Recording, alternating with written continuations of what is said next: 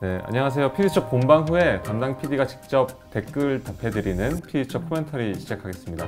아, 저는 피디첩 진행하고 있는 서정훈 PD고요. 오늘은 어, K 부동산 쇼핑편을 제작한 저희 성기현 PD님을 모셨습니다. 안녕하십니까. 네. 소개 좀 해주세요. 너무 자주 소개하고 있지만. 안녕하세요. 성기현 PD입니다. 안녕하세요. 성기현입니다. 안녕하세요. 저는 성기현입니다. 그러니까 뭐지?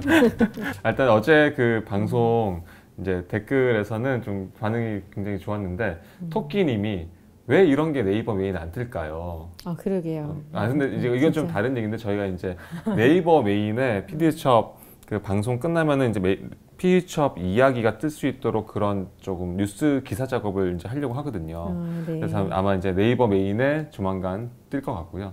이제 어제 방송에서는 이제 엄청 부동산 많이 사들인 중국인들, 외국인들 이야기가 있었잖아요. 어떻게 그 사람들 찾으셨는지. 우리가 외국인들이 어떻게 사는지에 대한 어떤 모니터링 시스템이 전무해요. 그래서 음. 어떤 자료를 구하려고 했을 때 자료들이 산지에 있어요. 그 왜 우리 우리는 국토부 실거래가 이렇게 국토부에 다 모여 있잖아요. 네, 국내에 네. 근데, 근데- 외국인에 대해서는 그런 게 없어요.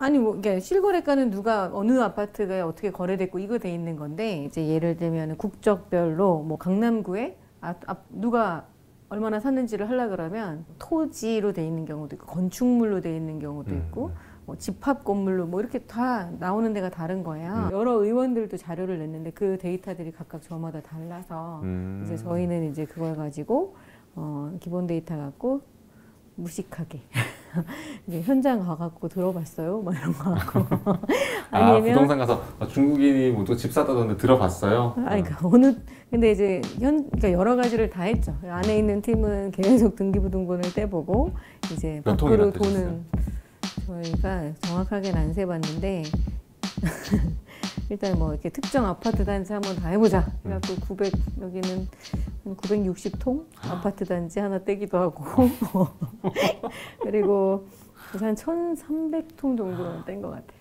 아, 그러니까 이게 진짜 그 데이터 좀 제대로 정리된 그 외국인의 부동산 매입 매입 관련한 데이터가 정리된 게 없으니까. 그러니까 제가 딱 원하는 이를테면 어, 중, 중국인이다 아니면 음, 미국인이다가 어느 구에 음. 어떻게 사- 얼마나 샀어요는 안 나와요. 그러니까 우리 생각 제 생각 상식적으로 것 있을 것. 같은데 네. 없었던 거잖아. 아, 진짜 저희 성견 선배님이랑 성견 선배 팀이 정말 개고생 개고생을 진짜 해가지고 등기 다 떼고 현장에서 음. 진짜 취재하신 내용이었네요. 어, 대단하십니다. 그 저희 댓글에 질문이 하나 있는데 음.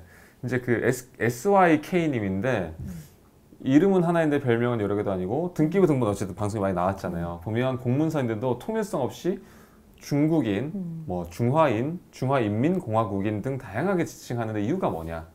아, 저희도 저도 궁금한데 아, 진, 답이 없어요?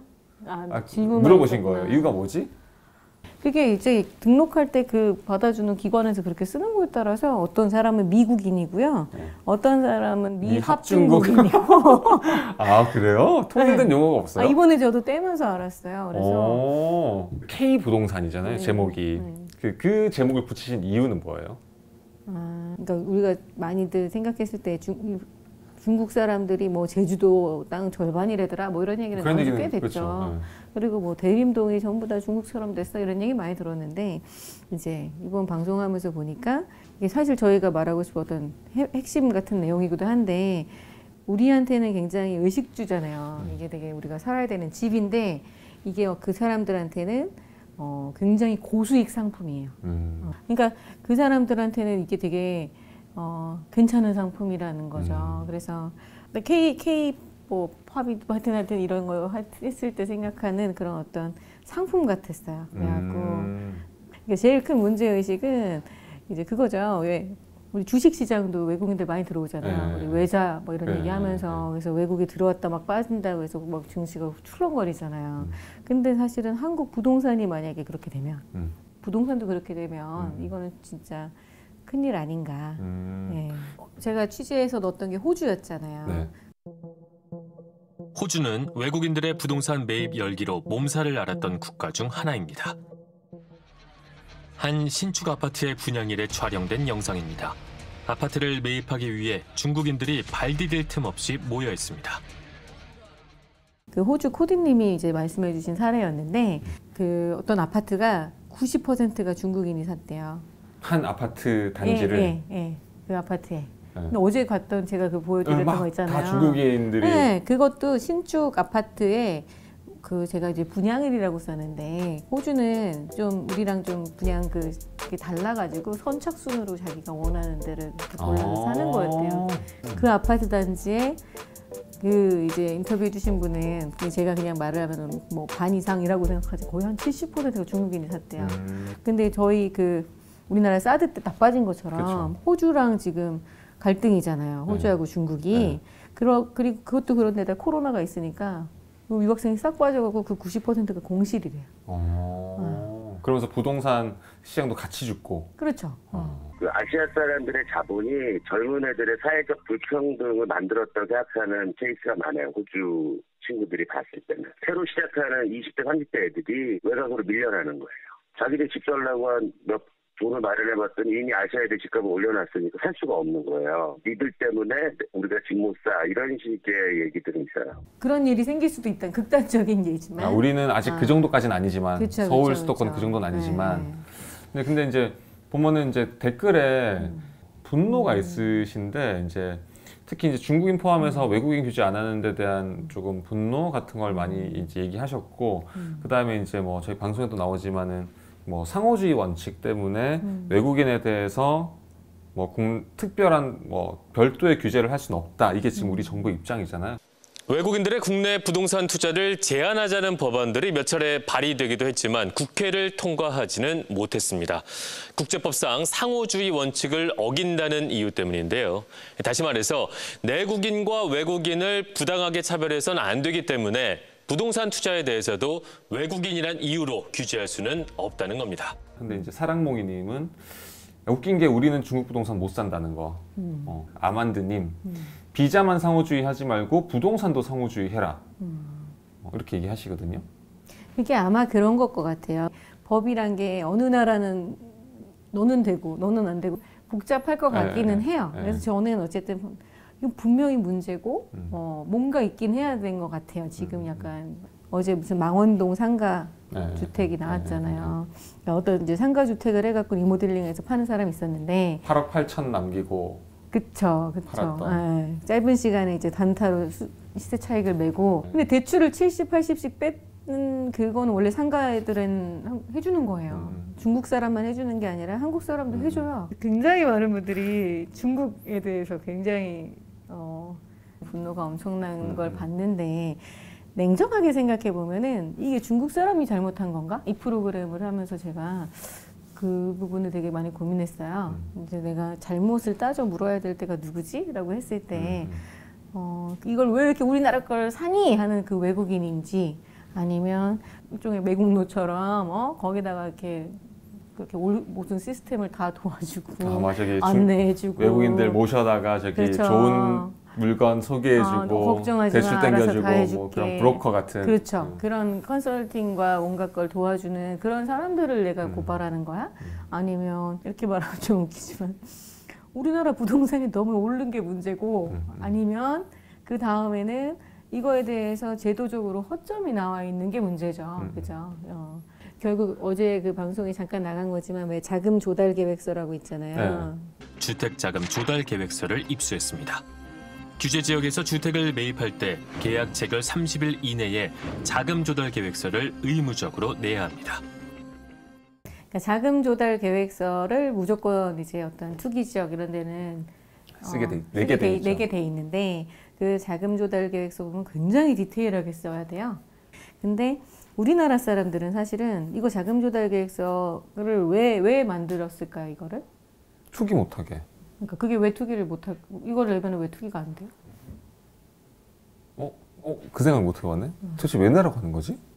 그거 왜 그거 내면 왜, 왜 투기가 내라고 안 하는? 거야? 진짜 그러네 아니 왜냐하면 저도 전 써본 적이 없어서 몰랐는데 그거를 우리나라 사람들은 어 근데 돈이 되게 많아요. 나도 부동산으로 돈 벌고 싶어요. 난 돈 되게 많아갖고 음, 음. 아니면 나는 내 자식들도 사주고 싶어요. 음. 근데 이걸 자금 조달 계획서를 내면은 그걸 다 하나하나 입증해야 되거든요. 음.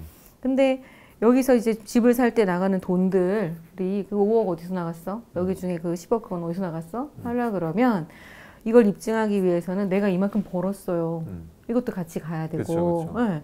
그렇게 되면은 어 이거 이거 들어가는 거 증여한 거 아니야? 음. 어, 내지는 너 세금 탈루한 거 아니야? 음. 그러니까 투기 수요 억제하기 위해서요 일시적으로 낸- 만든 거지 그 전에는 음. 없었잖아요 그쵸, 이게. 그쵸. 그러니까 사실은 투명하게 하고 그거를 하, 이게 두려우면 못 하는 거예요. 그래서. 음.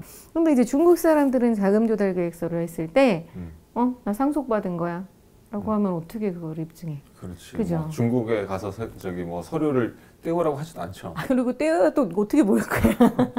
우리 네, 우리의 조사의 범위를 넘어가는 거예요. 아. 그리고 우리나라 같으면은 뭐 어, 너 이거 5억에 대해서 소명해 보세요. 음. 그러면 와서 해야 되잖아요. 음, 음, 맞아요. 근데 오세요 해서 안 올 수도 있고. 그렇지. 외국인인데 뭐. 네, 어. 맞아요, 맞아요. 그리고 어, 이 거래에 대한 그것을 어떻게 할 수가 없는 거예요. 이제 이유님 음. 이제 방송 보시고서 아 진짜 소름이다. 음. 중국 사람들이 마레프, 대치동, 강남학군, 초푸마, 숲세권 용어도 알고 사실 저도 이런 그러니까 저도 뭐 대치동, 강남학군까지는 대충 알았었는데 음. 뭐 초푸마, 숲세권 이런 거는 부동산이 막 뜨거워질 때 음. 부동산 다니면서 조금 알았거든요. 음, 저는 아니, 근데 그거를 이제 정확하게 제가 설명을 드리면 음.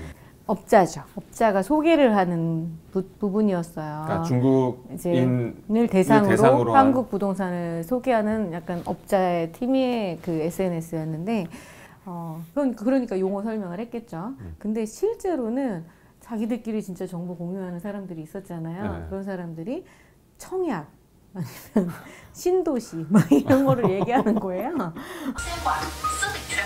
숲세권, 네. 숲세권, 동세권, 백세권, 초포마.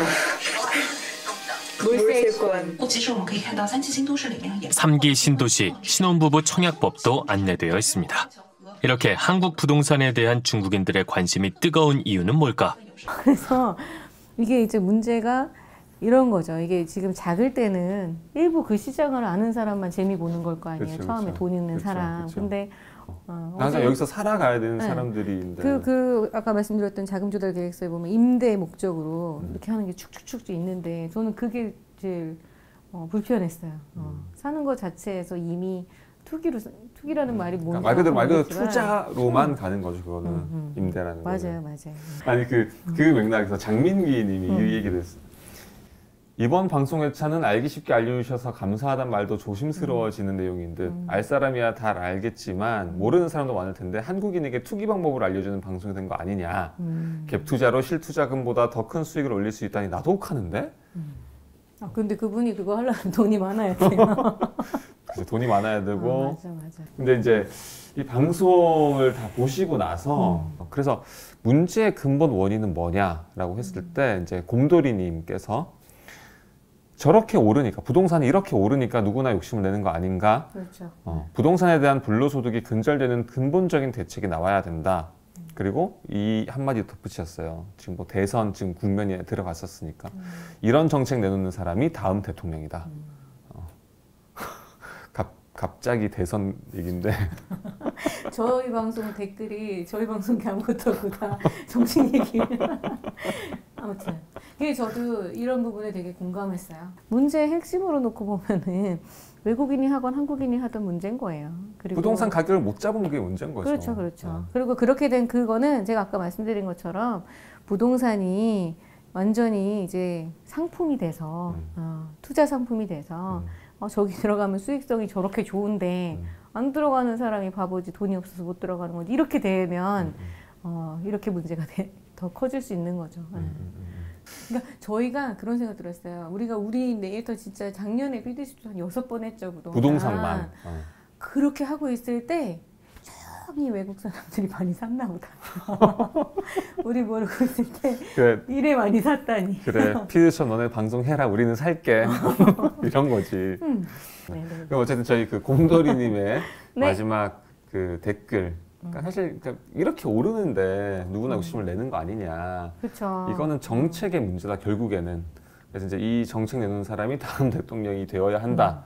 음. 이건 뭐 저도 저희 성기현 선배님도 적극 동의하는 바기 때문에 조금 좀 부동산 시장이 좀 정상화돼서 어, PD수첩이 더 부동산 방송을 하지 않는 그런 때가 빨리 왔으면 정말 제, 제 개인적으로도 지금 간, 간절히 바라고 있습니다. 하여튼 이번 저기 방송 봐주셔서 너무 감사드리고 또 저희 프로그램에 이렇게 또 많이 댓글 달아주시면 저희가 최대한 성심성의껏 댓글에 대해서 답해드리겠습니다. 하여튼 이번 네, 고생하셨어요. 네. 아, 감사합니다. 감사합니다. 고생하셨습니다. 감사합니다. 네.